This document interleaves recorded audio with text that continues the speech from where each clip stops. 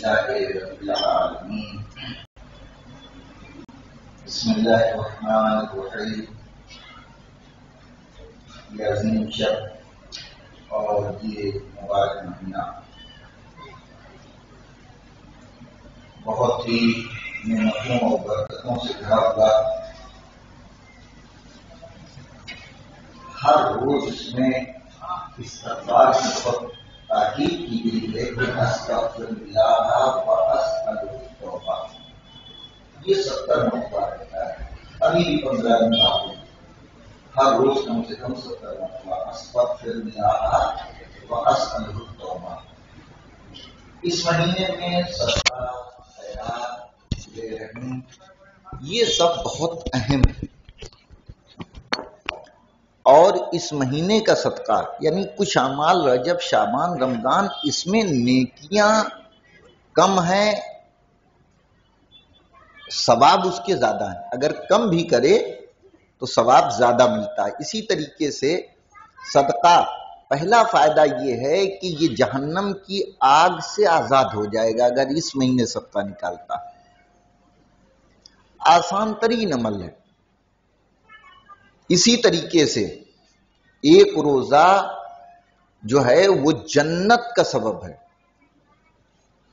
اور بہترین اعمال صدقہ و استغفار ہے۔ استغفر اللہ و اصل توبہ اور صدقہ نکالنا شابان میں۔ اسی طریقے سے کہ یہ صدقہ بڑھتا رہتا ہے اور یہ پہنچ جاتا ہے بالکل اونٹ کی طرح۔ کوہ احد کے مقدار کے مطابق اس کے نیکیاں ہو جائیں گی صدقے۔ اسی طریقے سے پورے مہینے میں اگر کہہ جائے، لا الہ الا اللہ ولا نعبد الا ایاہ مخلصین لہ الدین ولو کرہ المشرکون۔ یہ ایک ہزار سال کی عبادت کے برابر ہے۔ اسی طریقے سے گرووار کو دو رکعت نماز جو سو مرتبہ توحید۔ آج کی شب بھی نماز جعفر تیار پڑھنے کی بہت تاکید۔ پندرہ شابان معظم یعنی آج کی شب شب چودہ، انتہائی مبارک رات۔ بہت اہم رات ہے۔ اس کے بارے میں چھٹے امام فرماتے ہیں کہ اس رات کے بارے میں سوال کیا گیا تو آپ نے فرمایا کہ یہ رات شب قدر کے بعد تمام راتوں سے افضل ہے۔ رمضان مبارک میں شبہائے قدر، اس کے بعد اگر کوئی عظیم رات ہے تو آج کی رات۔ آپ نے فرمایا، یہ رات شب قدر کے بعد تمام راتوں سے افضل ہے۔ پروردگار اس رات میں اپنے فضل و کرم کی بارش کرتا جب بارش ہوتی ہے تو کوئی اندازہ لگا سکتا ہے کتنے قطرے گرے؟ نہیں۔ کچھ نہیں ہو سکتا۔ ویسے اللہ فضل و کرم کی بارش کرتا ہے۔ اور اپنے بندوں کے گناہوں کو معاف کرتا ہے۔ یعنی اگر آج کی شب انسان اس طرف متوجہ ہو جائے تو بہت اچھی ہے۔ کوشش کرے کہ یہ رات تقرب الہی میں گزار دے۔ کچھ دیر نماز پڑھ لی، کچھ دیر تلاوت قرآن کر لیا، کچھ دعائیں پڑھ لیں۔ یہ تقرب الہی کی بہترین رات ہے۔ یہ وہ رات ہے جس کے بارے میں پروردگار نے اپنی ذات کی قسم کھائی ہے۔ اللہ نے قسم کھائی ہے۔ ہم آپ جب کوئی کام کرنے کے لیے قسم کھا لیتے ہیں تو حتمن اسے پورا کرنے کی کوشش کرتے چیزائی کی پروردگار عالم۔ اس نے قسم کھائی ہے کہ اپنے سائلوں کو واپس نہیں کرے گا۔ یعنی اس رات جو مانگا جائے گا، اسے ضرور ملے گا۔ جب تک کہ وہ کسی گناہ کا سوال نہ کرے۔ اگر کسی مسلحت سے جو ہم مانگ رہے ہیں نہیں ملا، تو برباد نہیں ہے۔ اسے اللہ نیکیوں کی شکل میں بدل کے رکھے گا۔ شاید ہم سوچ رہے ہوں ہمیں یہ مل جائے۔ تو کبھی کبھی انسان کو اقتدار مل جاتا ہے، دولت مل جاتی ہے، کوئی منصب آپے سے باہر ہو جاتا۔ جو نہیں کرنا چاہیے وہ کرنے لگتا۔ جس کے نتیجے میں اس کی آخرت چلی جاتی۔ تو خالی ہاتھ نہیں کرے گا جب تک کہ کسی معصیت کا سوال نہ کرے۔ یہ وہ بابرکت رات ہے جسے پروردگار نے ہمارے لیے اس طرح قرار دیا جیسے رسول اللہ کے لیے شب قدر کو قرار دیا، ویسے ہی ہمارے اور آپ کے لیے آج کی رات کو قرار دیا۔ جتنی عظیم رات رسول کے لیے شب قدر ہے، رمضان، اس سے زیادہ مومنین کے لیے اسے قرار دیا۔ لہذا دعا اور یہ سب میں مشغول ہے۔ آج کی شب غسل کرنا، شب پندرہویں شب، گناہ کے ختم ہونے کی دلیل ہے۔ اسی طریقے سے نماز، دعا، استغفار، شب جگنا۔ اب جگ رہے ہیں، خدا نہ خواستہ کچھ فیلے حرام کر رہے ہیں، گانا سن رہے ہیں، میوزک سن رہے ہیں، تو کیا ہوگا؟ اور گناہ بڑھ جائے گا۔ لیکن شب داری کرے امام کے انتظار میں، عبادت الہی میں۔ اور جو بھی اس دن جگے گا، اس دن اس کا دل ملدہ نہیں ہوگا قیامت کے دن، جس دن سارے دل ملدہ ہوں گے۔ زیارت امام حسین علیہ السلام پڑھنا آج کی شب۔ بہترین عمال گناہوں کے بخشش کا ذریعہ ہے۔ جو شخص یہ چاہتا ہے کہ ایک لاکھ چوبیس ہزار انبیاء سے مسافیہ کرے۔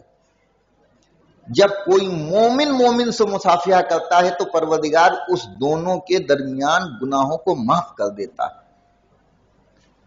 اگر کوئی انسان انبیاء سے مسافیہ کرے اور اگر انبیاء سے مسافیہ کرنا چاہتا وہ بھی ایک لاکھ چوبیس ہزار انبیاء تو اسے چاہیے کہ زیارت امام حسین آج کی شب پڑھے۔ جیسا کہ آپ کو معلوم ہے دعائے کمیل بھی آج ہی کی شب امام تعلیم فرمائی تھی۔ دعائے کمیل کا پڑھنا بہت آسان، جو سب کو یاد ہے، وہ بہت ثواب ہے۔ تسبیات اربا کا سو مرتبہ پڑھنا، جو ہم تیسری اور چوتھی رکعت میں پڑھتے ہیں، کیا پڑھتے ہیں؟ سبحان اللہ والحمد للہ ولا الہ الا اللہ واللہ اکبر پروردگار اس کے گناہوں کو بخش دے گا اور اس کی حاجتوں کو پورا کرے۔ کسی بھی وقت آپ کی مغرب ہو گئی، عشاء ہو گئی، بیٹھے ہیں، ایک تصویر اگر گناہوں کی بخشش چاہتا ہے، اپنی کسی دعا کو باب قبولیت تک پہنچانا چاہتا ہے، تو کیا ہے؟ تسبیات اربا آج کی شب میں پڑھے۔ اب آپ دیکھیں۔ سب سے عظیم خوشی جو ہے وہ ہمارے امام کی ولادت جب آج کی شب آئی تو جناب حکیمہ سے ہمارے گیارہویں امام نے کہا کہ اے بھوپی، آج ہمارے گھر قیام کریے۔ اللہ اپنی آخری حجت کا ظہور کرے گا۔ یہ گھرانہ بہرحال راتوں کو شبداری کرنے والا عبادت الہی کرنے والا۔ رات بھر عبادت الہی کرتی رہیں کرتی رہیں، یہاں تک کہ سفیدی سحر کا وقت آیا۔ جناب حکیمہ خاتون کہتے ہیں، میرے دل میں سورہ دخان پڑھ رہی تھی۔ چوالیسواں سورہ یہ، قرآن مجید کا۔ پڑھ رہی تھی، میرے دل کے اندر خیال آیا کہ کیا کہا تھا بھتیجے نے؟ کہ آج اللہ اپنی آخری حجت کا ظہور کرے گا۔ لیکن میں دیکھ رہی ہوں کہ نرجس خاتون کے ہاں ابھی کوئی آثار نظر نہیں آ رہے۔ یہ خیال آنا تھا۔ آپ اس حجرے میں امام دوسرے حجرے میں اسی میں جناب نرجس خاتون۔ ایک مرتبہ ادھر سے آواز آئی کہ آپ شک میں مبتلا نہ ہوں، اللہ اپنی حجت کو ظاہر کر کے رہے گا۔ یہ کہنا قیامت تک کو امام نے پیغام دیا کہ دیکھو اگر غیبت کا زمانہ طولانی ہو جائے تو تم شک میں مبتلا نہ ہونا کہ امام کب آئیں گے۔ امام آ کے رہیں گے۔ آپ بھی دیکھ رہی تھی کہ بظاہر کوئی آثار ولادت نظر نہیں آ رہے تھے۔ اسی اسما میں کہتی ہیں، میں نے کیا دیکھا کہ حجرہ نول سے پر ہو گیا۔ وہ مستورات جنت سے آئیں جو ان کے یہاں ولادت کے موقع پر پیغمبر اسلام کی مولا کائنات کی، امام حسن کی، امام آتی رہی۔ جناب آسیہ آئی جناب کلسوم آئیں، جناب مریم آئیں، جناب سارا آئیں۔ کہتی ہیں کہ نور اتنا زیادہ ہوا کہ نور ہی پردہ بن گیا۔ پردہ بن گیا۔ اور اس کے بعد امام کی ولادت ہوئی۔ وہی چیز جو سب کے موقع پہ دکھتا رہا۔ ایک درود پڑھ دے محمد والے۔ محمد پردہ بن گیا۔ اور ادھر سے آواز آئی، لاؤ میرے بیٹے کو۔ جیسے مولائے کائنات کے لیے پیغمبر نے کہا، فاطمہ بنت اسد نکلی۔ اب آپ دیکھیں، کچھ چیزیں ایسی ہوتی ہیں کہ جہاں بہت عقلی اور قرآنی دلیل کی ضرورت نہیں پڑتی ہے۔ کیونکہ کچھ چیز، کچھ اعتراضات ایسے ہوتے ہیں جو علمی ہوتے ہیں۔ اور کچھ اعتراضات ایسے ہوتے ہیں کہ جو جاہلوں کے ہوتے ہیں، ان کو آپ قرآن کی آیتیں سناتے رہیے، نہیں سمجھ میں آئے گا۔ تو یہ بھی ہوتا ہے کہ بھائی آپ کے مام ان کے ہاں بھی ہے۔ ان کے ہاں بھی سنن داؤد میں، ابن ماجہ میں روایتیں موجود ہیں۔ امام کی حکومت کا ذکر ہے، لیکن صرف اتنا فرق ہے کہ وہ کہتے ہیں کہ پیدا ہوں گے، ہم کہتے ہیں کہ ولادت ہو چکی ہے، ظہور کریں گے، ابھی پردہ غیب میں ہے۔ لیکن حضرت حجت کی حکومت کا تاثر ان کے ہاں بھی ہے کہ یہ ہو کے رہے گی۔ لیکن کبھی کبھی کیا ہوتا ہے کہ دیکھیے، دو تین ریزن ہوتے ہیں۔ اب کچھ علماء نے اس لیے اس پہ زور نہیں دیا کہ شاید وہ طول عمر پر دلیل نہیں دے سکے کہ اگر ہم کہیں گے پیدا ہو گئے ہیں تو اتنے زمانے سے زندہ کیسے ہیں؟ ارے بھائی، جو قرآن، جو مذہب تمہارا کہہ رہا ہے کہ جناب عیسیٰ دو ہزار سال سے زندہ ہیں، آپ کیسے زندہ ہیں؟ یہ مجمع کیسے زندہ بیٹھا ہے؟ کس نے آپ کو زندہ رکھا ہے؟ آپ کے بیٹے نے، آپ کی بیوی نے، آپ کے بچے نے، آپ کے خاندان والے نے؟ کہا کیسی باتیں کرتے ہیں مولانا؟ بچہ بھی مرتا ہے، جوان بھی مرتا ہے، بڈھا بھی مرتا ہے۔ یہ تو اللہ کی مرضی، جب تک زندہ رکھے۔ یہی تو حقیقت ہے۔ تو اگر سماج اور معاشرے میں چول زندہ رہ سکتا ہے، گنڈا زندہ رہ سکتا ہے مرڈر کرنے والا زندہ رہ سکتا ہے تو وہ فاطمہ کا لال زندہ نہیں رکھ سکتا جس کی عبادت جو ہے کائنات کے لیے زینت ہے۔ اگر اس کو اللہ زندہ رکھے تو تعجب ہے۔ اور اتنے شداد حامان جیسے دنیا میں جیے تو کوئی بات نہیں۔ ان کے لیے اللہ کی قدرت اور اس کے لیے۔ تو جیسے وہ زندہ ہیں، ویسے یہ زندہ ہیں۔ اب وہ کبھی کبھی کہتے ہیں کہ بھائی کیسے زندہ ہیں؟ اور کب آئیں گے؟ کب آئیں گے یہ تو مسلحت الہی بہتر جانے صحیح جواب تو یہی ہے کہ اللہ کی مرضی جس دن وہ بہتر سمجھے گا، ظاہر کر دے گا۔ لیکن اگر آپ کی ضد یہی ہے کہ نہیں بتائیے، تو شاید آپ اللہ تک نہ پہنچ سکتے ہوں۔ ہم ہی کو ذریعہ بنا رہے ہوں تو ایک جملہ سن لیجیے جیسا آپ کا سوال، ویسا ہمارا جواب۔ گیارہ زندہ تھے، آپ نے مار ڈالے۔ بارہویں کو اللہ نے پردے میں اس لیے رکھا ہے کہ جب تم سب مر جاؤ گے تب ضرور کرے گا۔ آپ دیکھیں، حالات کو دیکھیں۔ حالات بھی بہت اچھے ہوں گے امام کے ظہور کے بعد۔ انسان تصور نہیں کر سکتا۔ جب روایتوں کو، احادیث کو آپ پڑھتے پڑھتے تھک جائیں گے، دو ہزار، پانچ ہزار حدیثیں پڑھیں گے، تو دو تین چیزیں آپ کے سامنے آئیں گی۔ ایک تو یہ کہ ظہور سے پہلے حالات خراب ہو جائیں گے۔ جس بھی اینگل سے دیکھیں، چاہے قانون کے اعتبار سے دیکھیں، چاہے عزت و آبرو کے اعتبار سے دیکھیں، چاہے مالی حالات دیکھیں یعنی ایسی ایسی روایتیں کہ دو روٹی کے لیے قتل ہو جائے گا تو کون کرے گا قتل؟ جس کے گھر میں سال بھر کا کھانے پینے کا ہوگا۔ نہیں، جو فقر و فاقہ کر رہا ہوگا یعنی کمی ہوگی؟ اس کے بعد آپ دیکھیے فلا جگہ آئے دن یہاں نہیں نکل سکتے، ایسا نہیں ہو سکتا، ویسا نہیں ہو سکتا۔ اور ظہور کے بعد کہ زمین اپنے خزانے کو اگل دے گی۔ جتنی پیداوار یہ سب ہوتی تھی، اس سے کئی گنا زیادہ ہوگی۔ غربت، روایتیں اشارہ کرتی ہیں، آدمی کو فیصلہ کر لینا چاہیے۔ کہ امام کے بعد ایسا بھی زمانہ آ جائے گا ظہور کے بعد کہ لوگ خوم زکات فطرہ، صدقہ لے کے ٹہلیں گے، کوئی لینے والا نہیں ملے گا۔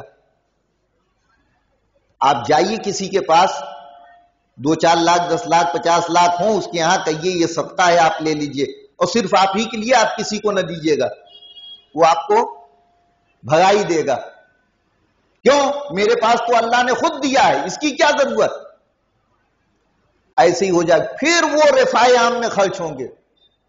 یعنی آدمی کوئی لینے والا نہیں ہوگا۔ مکے سے، شام سے، مکہ معظمہ، سونے سے لدی ہوئی عورت اطمینان سے بغیر کسی سیکورٹی کے آئے گی۔ زمانہ امن و امان ہو جائے گا۔ سب کو انصاف ملے گا۔ آج پرابلم کیوں ہے؟ بے چینی کیوں ہے؟ کسی کو کہیں انصاف نہیں مل رہا۔ آج گھر میں خلفشار ہے تو انصاف نہ ملنے کی وجہ سے۔ آج سماج میں خلفشار ہے تو انصاف نہ ملنے کی وجہ سے۔ اجزانی گرامی پھر آپ دیکھیں کہ آپ عریضہ لکھتے ہیں، ابھی لکھیں گے شبائے کی۔ کہتے ہیں، کیا خط کا جواب بھی آتا ہے؟ ہاں جواب آتا ہے۔ لیکن جواب کے دو طریقے ہوتے ہیں۔ اگر آپ سے ہم پوچھیں کہ آپ کیسے ہیں، خیریت سے ہیں، کیا ہیں، تو آپ وہاں سے خط لکھیں گے۔ کہ ہاں یہاں میں بھی ٹھیک ہوں، میرے بچے بھی ٹھیک ہیں اور یہ ہے یہ ہے یہ ہے۔ تو یہ چیز تو ہم پوچھتے نہیں، کیوں نہیں پوچھتے ہیں؟ اس لیے نہیں پوچھتے ہیں کہ سورج کی چمک بتا رہی کہ امام خیریت سے ہیں۔ سورج کا صحیح ٹائم سے نکلنا بتا رہا ہے کہ امام خیریت سے ہیں۔ کائنات انہی کے وجود سے برقرار ہے۔ تو یہ ساری چیزیں بتا رہی کہ آپ خیریت سے ہیں۔ کافر کہا بھائی مثلا ہم یو پی کے ہیں۔ اگر یو پی چلے جائیں اور وہاں سے آپ کو ایک خط لکھیں کہ بھیا ایک دوا تھی، وہاں ہم نے لکھائی تھی، یہاں نہیں مل رہی ہے۔ اگر آپ وہاں سے بھیج دیتے تو بہت اچھا تھا۔ خط تو آیا، لیکن جواب کس صورت میں گیا، دوا کی شکل۔ میں اب آپ پوسٹ مین کے یہاں بیٹھے رہیے، پہلا لگا کے کہ اب ان کے خط کا جواب آتا ہے، اب آتا ہے، اب آتا ہے۔ تو جواب تو آ رہا ہے دوسری اسی طریقے سے عریضے جو ہوتے ہیں، یہ تمناؤں کی شکل میں ہوتے ہیں، وہاں جو ہے مرادوں کی شکل میں ہمیں جواب مل جایا کرتا ہے۔ کہتے ہیں، پانی کے حوالے کر دیا۔ ارے بھائی، یہ صاحب تطہیر ہیں۔ یہ سمندر اور یہ ساری چیزیں جو ہیں، یہ امانت کو اس منزل تک پہنچانے والی ہیں۔ تا عقل میں نہیں آتا۔ میں نے کہا، کیوں نہیں آتا؟ کیا قرآن نہیں پڑھا؟ کہا، پڑھا. میں نے کہا، جس فرون جس موسا سے فرون ڈر رہا تھا، اس کی ماں نے موسا کو کس کے حوالے کیا تھا؟ دریا کے حوالے کیا تھا کہ نہیں؟ بچا کے نہیں؟ تو اگر اسے بھی بچا سکتا ہے، تو اس کو بھی اپنی منزل تک پہنچا سکتا ہے۔ دعا کرتے ہیں پروردگار۔ آپ سب کو بحق حضرت حجت صحت و سلامتی عنایت فرما۔ پروردگار، آپ سب کے کاروبار میں خیر و برکت عنایت فرما۔ پروردگار، امام زمانہ کے ظہور میں تاجیل فرما۔ ہم سب کو ان کے ایوان انصار میں شمار سکا طیب اللہ آپ کو مبارک ہو خوب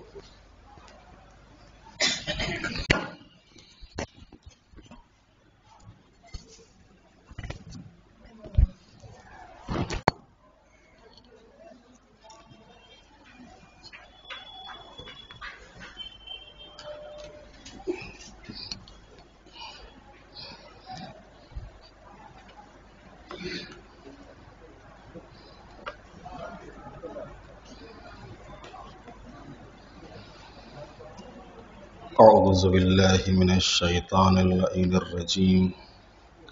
بسم الله الرحمن الرحيم. يا أيها الذين آمنوا لا يسخر قوم من قوم عسى أن يكونوا خيرا منهم ولا نساء من نساء عسى أن يكن خيرا منهن. ولا تلمزوا أنفسكم ولا تنابزوا بالألقاب. بئس الاسم الفسوق بعد الإيمان ومن لم يتف فأولئك هم الظالمون. يا أيها الذين آمنوا اجتنبوا كثيرا من الظن إن بعض الظن اسم ولا تجسسوا ولا يخطب بعضكم بعضا. أيحب أحدكم أن يأكل لحم أخيه ميتا فكرهتموه. واتقوا الله إن الله تواب رحيم. يا أيها الناس، إنا خلقناكم من ذكر وأنثى وجعلناكم شعوبا وقبائل لتعارفوا. إنا أكرمكم عند الله أتقاكم. إن الله عليم خبير. قالت العرب آمنا. قل لم تؤمنوا ولكن قولوا أسلمنا. ولما يدخل الإيمان في قلوبكم، وإن تطيعوا الله ورسوله لا يلدكم من عامالكم شيئا. إن الله غفور رحيم. إنما المؤمنون الذين آمنوا بالله ورسوله ثم لم يرتابوا وجاهدوا بأموالهم وأنفسهم في سبيل الله. أولئك هم الصادقون. قل أتعلمون الله بدينكم؟ والله يعلم ما في ما في السماوات وما في الأرض. والله بكل شيء عليم. يمنون عليك أن أسلموا. قل لا تمنوا علي إسلامكم. بل الله يمن عليكم أن هداكم للإيمان إن كنتم صادقين. إن الله يعلم غيب السماوات والأرض والله بصير بما تعملون. صدق اللہ العلی العظیم سورہ حجرات کی دس نمبر کی آیت تک بات ہوئی تھی اور تو اس کا ترجمہ اور تفسیر آپ کی خدمت میں بیان ہوئی تھی اور دس نمبر کے بعد جو گیارہویں آیت ہے، اس میں ارشاد ہو رہا ہے کہ ایمان والو، خبردار کوئی قوم دوسری قوم کا مذاق نہ اڑائے کہ شاید وہ اس سے بہتر ہو۔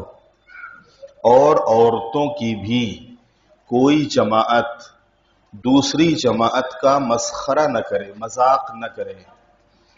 کہ شاید وہی عورتیں ان عورتوں سے بہتر ہوں جن کا مذاق اڑایا جا رہا ہے۔ آپس میں اور آپس میں ایک دوسرے کو تانے نہ دو اور برے برے القاب اور ناموں سے بھی یاد نہ کرو کہ ایمان کے بعد بدکاری کا نام ہی بہت برا ہے اور جو شخص بھی توبہ نہ کرے تو سمجھو کہ یہی لوگ در حقیقت ظالمین میں سے ہیں۔ یہاں کے اوپر گیارہ نمبر کی جو آیت ہے اس میں تھوڑا سا ایک فٹ نوٹ ہے، اسے بھی آپ کی خدمت میں بیان کر دوں۔ ایمانی برادری میں فتنہ اور فساد کی جڑیں، انہی اخلاقی تعلیمات کے فقدان پر مبنی ہے یعنی جہاں کے اوپر اخلاقی تعلیمات نہیں ہوتی ہیں، وہاں پر فتنے ہوتے ہیں۔ اور فتنے جنم ہی لیتے ہیں اخلاقی تعلیمات نہ ہونے کی بنیاد پر۔ ایک دوسرے کی عزت، ایک دوسرے کی رسپیکٹ ایک دوسرے کا مان، ایک دوسرے کا سمان، ایک دوسرے کے حق۔ جہاں کے اوپر حق پامال ہوتا ہے رسپیکٹ نہیں ہوتی ہے، عزت نہیں ہوتی ہے، احترام نہیں ہوتا ہے، تانے ہوتے ہیں، گالیاں ہوتی ہیں، مذاق ہوتا ہے، الٹی سیدھی باتیں ہوتی ہیں۔ وہاں کے اوپر یہ ساری چیزیں پیدا ہوتی ہیں۔ اور کہ مسلمان اپنی ذہانت اور دانشمندی کا مصرف دوسروں کے مذاق اڑانے کو قرار دے۔ بس کبھی کبھی ایسا ہوتا ہے کہ ایک انسان دوسرے انسان کا مذاق اڑا کے اپنے کو بڑا تصور کرتا ہے اور وہ سوچتا کہ جس کا مذاق اڑا رہا ہے وہ اس کوئی حیثیت نہیں ہے، یا تو دولت کے لحاظ سے، یا علم کے لحاظ سے، یا پرہیزگاری کے لحاظ سے۔ اس سے تھوڑا سا اس کے اندر پرہیزگاری آ گئی تو دوسرے کا مذاق اڑانے لگا۔ تھوڑا سا علم آ گیا تو ایک جاہل کا مذاق اڑانے لگا۔ تھوڑی سی دولت آ گئی تو ایک غریب کا مذاق اڑانے لگا۔ تو اکثر یہ ہوتا ہے۔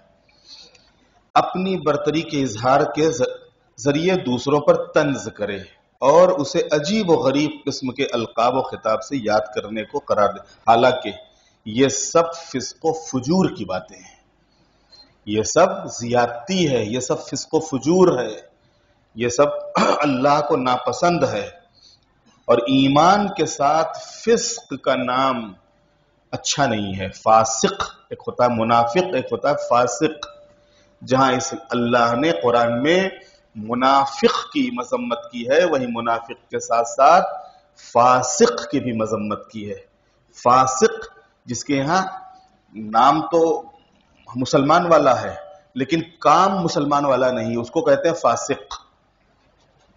اور ہر وقت کسی نہ کہیں شریعت کا مذاق اڑا رہا ہے تو کہیں دین کا مذاق اڑا رہا ہے کہیں دیندار لوگوں کا مذاق اڑا رہا ہے تو کہیں علماء کا مذاق اڑا رہا ہے تو کہیں مراجع کا مذاق اڑا رہا ہے کہیں کسی کا مذاق اڑا رہا ہے کہیں کسی اس کو کہتے ہیں فاسق واجبات کا مذاق اڑا رہا ہے رمضان المبارک کے روزوں کا مذاق کھڑا ہو کے اڑا رہا ہے نمازی بےچارے نکل رہے ہیں تو نمازیوں کا مذاق اڑا رہا ہے بےچارے زکوٰۃ خیرات کچھ دینے کے لیے نکلے تو ان کا مذاق اڑا رہا ہے اس قسم کے جو لوگ ہوتے ہیں قرآن نے ایسے لوگوں کو فاسق کہا ہے کہ جو اللہ کے فرائض اور واجبات کا مذاق اڑاتے ہیں اور ان کے انجام دینے والوں کا مذاق اڑاتے ہیں۔ مسلمان کی شان تو یہ ہے کہ دوسرے مسلمان کا احترام کرے، اسے اچھے الفاظ سے یاد کرے اور اس پر کسی قسم کا تان و تنز نہ کرے، تاکہ اس کا شمار ظالمین میں نہ ہونے پائے۔ اور وہ واقعا ایمانی برادری کا قائم کرنے والا اور اسے فروغ دینے والا، اس کو عام کرنے والا شمار کیا جائے۔ بارہ نمبر کی آیت۔ ایمان والو، اکثر گمانوں سے بچو۔ بدزن ہونا، بدگمان ہونا، یہ بہت بڑا گناہ ہے۔ گمان کہاں ہوتا ہے؟ جہاں یقین نہیں ہو۔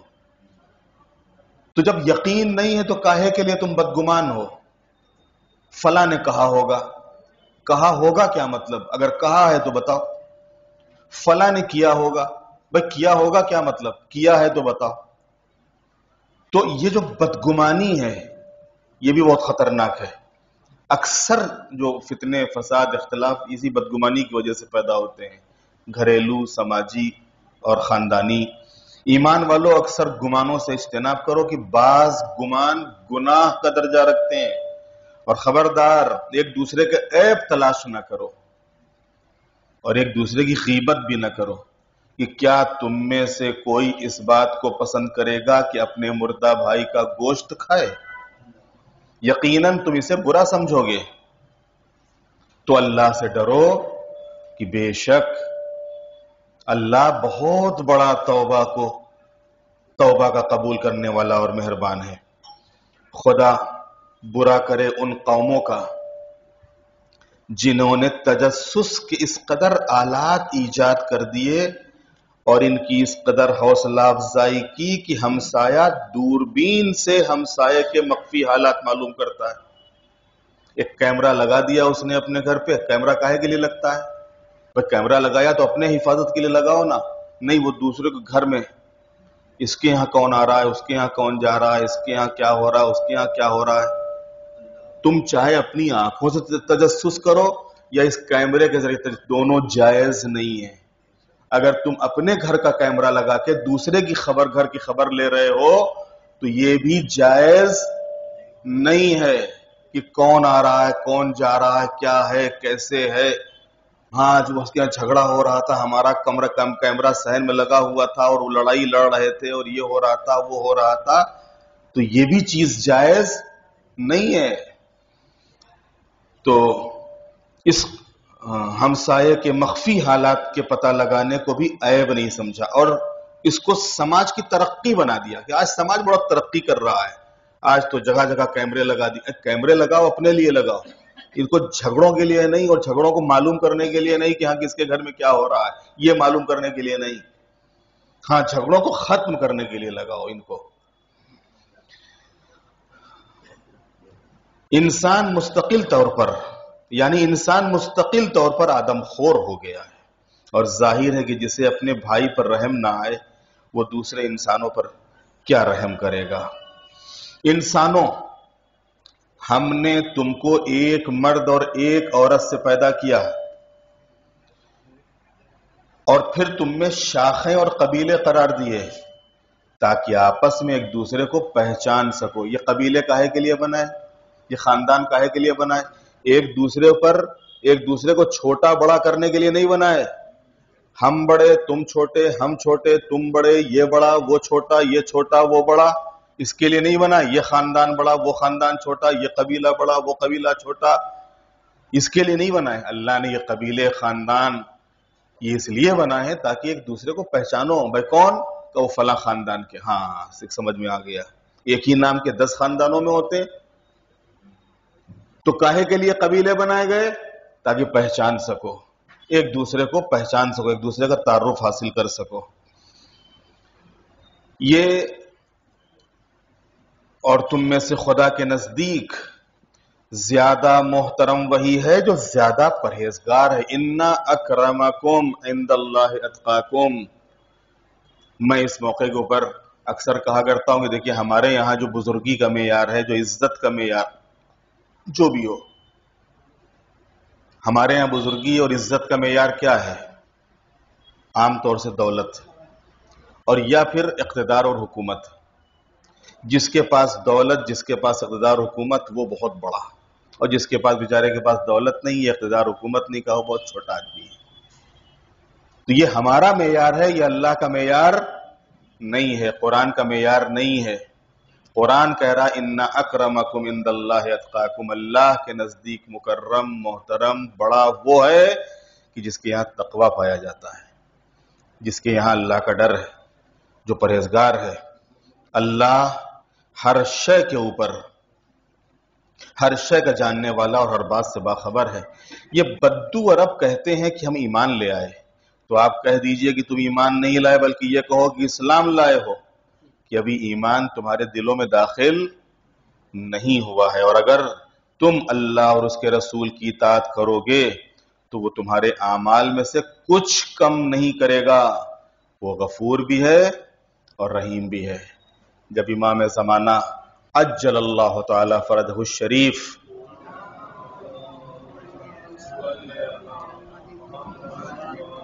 انشاءاللہ اللہ تشریف لائیں گے تو خالی دعوی ایمان کافی نہیں ہوگا۔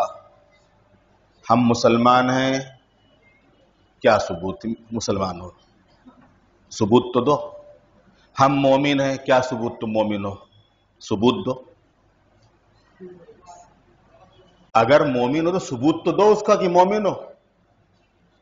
اگر مسلمان، نہیں، ہر صاحب ہم آپ کی ولادت پہ جو ہے اتنا خوشیاں مناتے ہیں، آپ کی شہادت پہ اتنا غم مناتے ہیں، ہم سے بڑا آپ کا کون ہوگا؟ اس کے علاوہ ہم نے کچھ کہا تم سے؟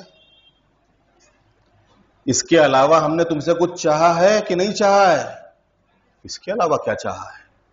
کیوں؟ ہم نے نماز نہیں چاہی، روزہ نہیں چاہا زکات نہیں چاہی، خمس نہیں چاہا۔ ہم نے اچھا اخلاق نہیں چاہا اچھا کردار نہیں چاہا تم سے۔ یہ سب ساری چیزیں تم نے انجام دی کہ نہیں دی؟ یہ سب کرتے ہو کہ نہیں کرتے ہو؟ نہیں، یہ سب تو پھر کاہے کا ایمان پائے گا اسلام؟ دنیا میں تو کوئی بھی کسی بھی اچھے انسان کو دیکھتا ہے ہاں بہت اچھے ہو، بہت اچھے ہو۔ بہت اچھے ہونا خالی تعریف کرنا کمال تھوڑے۔ ہر اچھے کی انسان، ہر اچھا انسان، ہر اچھا ہر اچھے انسان کی تعریف کرتا ہے۔ لیکن اگر ایمان ہے تو ثابت کرو کہ ایمان ہے۔ ثابت کیسے ہوگا؟ ثابت ہوگا آزا اور جوارے سے۔ انسان اپنے آزا اور جوارے سے ثابت آزا اور جوارے کہتے ہیں ہاتھ، پیر، جسم کے حصے۔ ان حصوں سے ثابت کرو کہ مومن ہو۔ ان حصوں سے ثابت کرو کہ مسلمان ہو۔ اگر تم نے کہا ہے کہ مسلمان ہے تو ثابت کرو مسلمان ہو۔ تمہارے ہاتھ، تمہارے پیر، تمہارے کان، تمہاری آنکھیں، تمہاری زبان تمہارے جسم کے حصے گواہی دیں کہ تم مسلمان ہو اور مسلمانوں والے کام کرتے ہو۔ آج مسلمانوں والے کام جو کہو تو عجیب سا لگتا ہے کہ مسلمانوں والے کام کرتے ہو۔ اگر سماج میں کہو مسلمانوں والے کام کرتے ہو تو مسلمانوں والے کام ایک عجیب سے نہیں یعنی, یعنی واقع یہ اسلام کے اوپر کتنا بڑا ظلم ہے۔ کہ آج اگر مسلمانوں والے کام کہو نا تو کہتے اچھا مسلمانوں والے کام ہوٹلے پہ بیٹھنا، رات کے دو بجے تک چوراہوں پہ گھومنا، مسلمانوں والے کام۔ اس کے علاوہ کسی بھی برے کام میں پیچھے نہ رہنا، یہ سب مسلمانوں والے کام ہے یہ سب مسلمانوں والے کام ہے تو مسلمانوں والے کام نہیں، اسلام والے کام۔ تو کام تمہارا اسلام والا ہے کہ نہیں ہے؟ تو ان اپنے جسم کے حصوں سے ثابت کرو کہ تم مسلمان ہو۔ جسم کے حصوں سے ثابت کرو کہ تم مومن ہو۔ ورنہ تو خود بدو عرب آ کے کہتے تھے کہ ہم ایمان لائے۔ آیت نازل ہوئی، پیغمبر آپ کہہ دیجیے کہ تم ایمان نہیں اسلام لائے ہو، ایمان تو بھی تمہارے دلوں میں داخل بھی نہیں ہوا ہے۔ اور اگر تم اللہ اور رسول کی اطاعت کرو گے، تو وہ تمہارے اعمال میں سے کچھ کم نہیں کرے گا۔ اور کیونکہ وہ بڑا غفور رحیم ہے۔ صاحبان ایمان صرف وہ لوگ ہیں۔ دیکھیں یہاں پر پھر بتا دیا آگے صاحبان ایمان صرف وہ لوگ ہیں جو اللہ اور اس کے رسول پر ایمان لے آئے اور پھر کبھی شک نہیں کیا اور اس کی راہ میں جان اور مال سے جہاد بھی کیا کہ در حقیقت یہی لوگ اپنے دعوی ایمان میں سچے ہیں۔ کہ اگر مسلمان ہو تو کچھ کر کے بتاؤ کہ ہاں تم مسلمان ہو۔ کر کے دکھاؤ کہ مسلمان ہو آپ کہہ دیجیے کہ کیا تم خدا کو اپنا دین سکھا رہے ہو؟ جبکہ وہ آسمان اور زمین کی ہر شے سے باخبر ہے اور وہ کائنات کی ہر چیز کا جاننے والا ہے۔ یہ لوگ آپ پر احسان جتاتے ہیں کہ اسلام لے آئے ہیں۔ تو آپ کہہ دیجیے کہ ہمارے اوپر اپنے اسلام کا احسان نہ رکھو۔ یہ خدا کا احسان ہے۔ کہ اس نے تم کو ایمان لانے کی ہدایت دی۔ اگر تم واقع دعوی ایمان میں سچے ہو، بے شک اللہ آسمان اور زمین کے ہر غیب کا جاننے والا اور وہ تمہارے تمام اعمال کا بھی دیکھنے والا ہے۔ صلح حدیبیہ میں رسالت میں شک کرنے والے افراد اپنے ایمان کا محاسبہ کریں، اپنے ایمان کا حساب کریں۔ اور دوسرے افراد بھی قرآنی معیار کو نگاہ میں رکھ کر اسلام اور ایمان کا فیصلہ کریں۔ دوسرے یہ کہ بدقسمتی یہ ہے کہ خدا نے ایمان کی ہدایت دی اور یہ اسلام ہی پر رک گئے۔ اور اس پر بھی خدا پر احسان جتانے لگے کہ ہم اسلام لائے ہیں۔ جبکہ تقاضائے انسانیت و شرافت یہ تھا کہ خدا کے احسانات کا اعتراف کرتے ہوئے منزل ایمان تک پہنچ جاتے اور پھر کسی عقیدے میں شک نہ کرتے۔ اور راہ خدا میں جان و مال کی قربانی بھی دیتے، نہ بخل سے کام لیتے اور نہ میدان جنگ سے فرار کرتے۔ میں آخر میں، کیونکہ یہ بات پوری ہو گئی، یہاں پر ستر آیتیں، جو اٹھارہ آیتیں سورہ حجرات کی تھیں، وہ ختم ہو گئی ترجمے کے لحاظ سے۔ اب اسی سے جوڑتے ہوئے جو آج کی شب ہے، میں اپنی بات کو انہی باتوں سے جوڑتے ہوئے عرض کر دوں کہ دیکھیے، انسان جو دنیا میں اللہ نے پیدا کیا ہے تو اس کے لیے کمال رکھا ہے۔ ایک بلندی رکھی ہے انسان کے لیے۔ انسان کو دنیاوی لحاظ سے جو کمال ملتا ہے، چاہے کوئی عہدہ ہو، منصب ہو، کوئی ڈگری ہو، تو کیا بغیر کچھ کیے ہوئے مل جاتی ہے؟ اگر انسان کو آج مثلا سی اے بننا ہے، ڈاکٹر بننا ہے، انجینئر بننا ہے مشتحد بننا ہے، یا مثلا دنیا میں کوئی اور ڈگری اسے لینی ہے، تو کیا بغیر کچھ کیے ہوئے ڈگری مل جائے گی؟ بغیر کچھ کیے ہوئے اسے وہ ڈگری مل جائے گی۔ اگر وہ ادھر ادھر کر کے تین پانچ کر کے جعلی ڈگری حاصل بھی کر لے، تو بہت جلدی گرفت میں آ جائے گا، پکڑ میں آ جائے گا کہ یہ جعلی ہے، یہ نقلی ہے، یہ بنوائی ہوئی ہے۔ اور اس کی بھی ذلت ہوگی، اس کے پورے خاندان کی ذلت ہوگی۔ اور وہ سلاخوں کے پیچھے ہوگا۔ تو یہ ڈگری دنیا میں جو ہے، جتنا آپ اوپر جاؤ گے جتنی محنت کرو گے اتنا اوپر جاؤ گے جتنی کوشش کرو گے اتنی اچھی ڈگری اور اتنا کمال حاصل کرو گے دنیا میں۔ جب دنیا کا کمال بغیر محنت کے حاصل نہیں ہوتا، تو کیا دین اور آخرت کا کمال ہاتھ پر ہاتھ دھرے رکھنے سے یا بیٹھے رہنے سے یا خالی پانچ وقت کی نماز ادا کر لینے سے حاصل ہوگا۔ اللہ نے انسان کو پیدا کیا ہے کہ انسان کمال تک پہنچے۔ کمال کیا ہے؟ میں خالی درجے بتا رہا ہوں۔ پہلا زینہ کون سا ہے؟ انسان۔ اللہ نے سب کو انسان پیدا کیا کہ نہیں پیدا کیا؟ اگرچہ خود روایتوں کے لحاظ سے ہر انسان جو بھی دنیا میں آتا ہے، وہ فطرت کے اوپر پیدا ہوتا ہے۔ فطرت کے اوپر مطلب پیدا ہونے کا مطلب کیا؟ فطری طور پر وہ اللہ کے وجود کا اور اللہ کی وحدانیت کا قائل ہوتا ہے۔ لیکن اس کے ماں باپ ہیں، اس کا خاندان ہے، اس کے دوست احباب ہیں کہ اس کو ویسا بنا دیتے ہیں۔ ورنہ اس کے نیچر میں اللہ نے یہ رکھا ہے کہ وہ اللہ کو مانے اور اللہ کو ایک مانے۔ تو پہلا زینہ کیا ہے؟ خود انسان ہے۔ اس کے اوپر دوسرا زینہ کیا ہے؟ اسلام۔ اب یہ کمال کے درجے ہیں۔ اسلام کے اوپر ہے ایمان۔ ایمان کے اوپر ہے تقوی۔ اور تقوی کے اوپر ہے یقین۔ یہ درجے آخرت کے نہیں، خود دنیا میں ہم کو حاصل کرنا ہے آخرت کے لیے یا اپنے کو بلند کرنے کے لیے۔ جناب سلمان اور جناب ابوذر جیسے افراد خود وہی انسان کے اوپر نہیں رک گئے، ایمان کے اوپر نہیں رک، مسلمان ہونے کے اوپر نہیں رک گئے، کہ اسلام لائے اور رک گئے، ایمان لائے اور رک گئے، نہیں، رکے نہیں۔ جناب سلمان کہاں کہاں انہوں نے جو ہے ٹھوکریں کھائی ہیں، کہاں اسفہان اور کہاں مدینہ؟ اور اس وقت تو کچھ پتا بھی نہیں تھا، خالی خبروں میں سنا تھا کہ ہاں ایسا ایسا ایک شہر ہوگا، کتابوں میں سنا تھا۔ اپنے علماء سنا تھا کہ ایسا ایسا شہر ہوگا، وہاں وہاں کے اوپر ایسے ایسے لوگ ہوں گے، ایسے حالات ہوں گے، وہاں سے آخری نبی ظاہر ہوگا۔ اور جب ظاہر ہو اس کے اوپر ایمان لانا، یہ اس کے صفات ہوں گے، یہ اس کے کمالات ہوں گے۔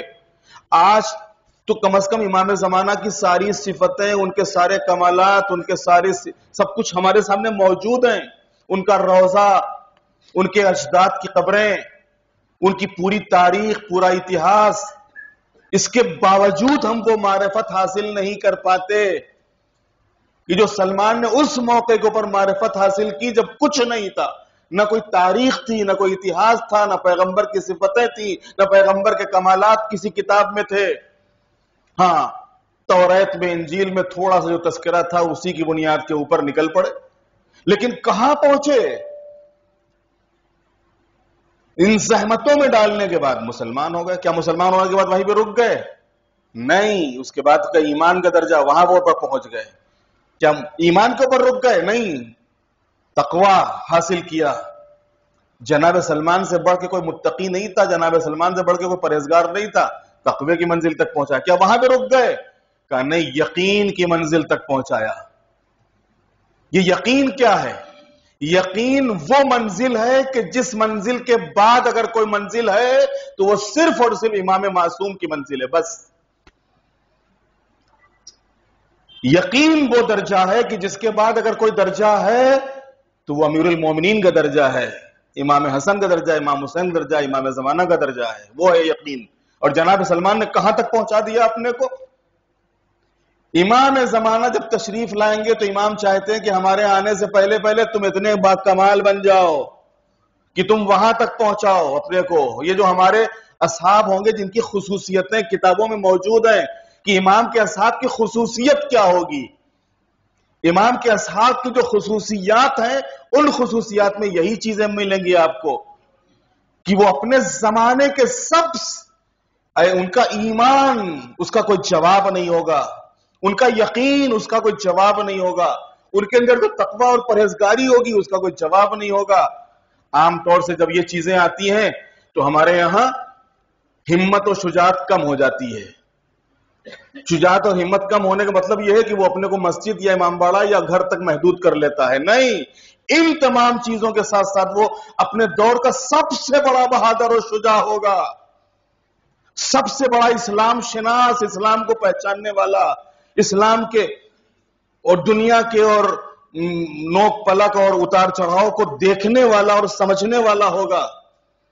اور جب تک ان چیزوں کی پرکھ اور جانچ اور معرفت ہم کو نہیں ہوگی، ہم صحیح معنوں میں امام زمانہ کی معرفت یا امام زمانہ کی حکومت کی معرفت حاصل نہیں کر سکتے ہیں۔ لہذا اپنے کو ہم جہاں پر ہیں، وہاں پر نہ روکیں، اس سے آگے بڑھیں۔ اور ائمہ معصومین علیہ السلام والسلام کے دور میں جیسے حالات رہے ہیں، ان حالات میں جو اماموں کے چاہنے والوں تھے انہوں نے کیا کیا ہے اور کیسے اپنے کو امام سے قریب کیا ہے، اس کا مطالعہ کرے تاکہ ہم اس غیبت کے زمانے میں ان حالات کو پڑھ کے اپنے دور اور اپنے زمانے کے اس امام سے اپنے کو قریب کر سکیں۔ اور جو امام سے اپنے کو قریب کر لے، وہ دنیا میں بھی کامیاب ہے اور آخرت میں بھی کامیاب ہے۔ بس یہی کے اوپر اپنی بات کو تمام کرتے ہیں اور آپ سب کی خدمت میں مولا امام زمانہ علیہ السلام کی ولادت کی مبارکباد پیش کرتے ہیں اور اس پروردگار عالم کی بارگاہ میں دعا کرتے ہیں کہ معبود ان حاضرین درس اور حاضرین محفل کی دینی اور دنیاوی حاجتوں کو پورا فرما اور ہم سب کو امام زمانہ کے سچے اور مخلص ناصروں میں اور ان کے غلاموں میں شمار فرما، ہمارا خاتمہ بخیر فرما اور جلد سے جلد مولا کا ظہور فرما اور مومنین جہاں جہاں بھی آباد ان کی جان، مال، عزت، آبرو کی حفاظت فرما۔ وآخر دعوانا الحمدللہ رب العالمین۔ آپ حضرات سے گزارش ہے کہ ایک مرتبہ سورہ ہم کی تلاوت فرما کر اس درس میں جو حضرات موجود ہیں، ان کے مرحومین اور وہ ہمارے علماء اور مراجع اور مومنین جو آج اس دنیا میں نہیں ہیں، ان کی ارواح کو بخش دیں۔